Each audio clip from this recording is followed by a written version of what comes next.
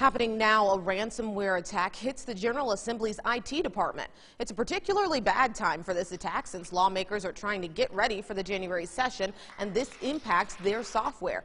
The agency is working with the FBI, a cybersecurity firm, and other law enforcement to fix this problem. The governor's office is also aware.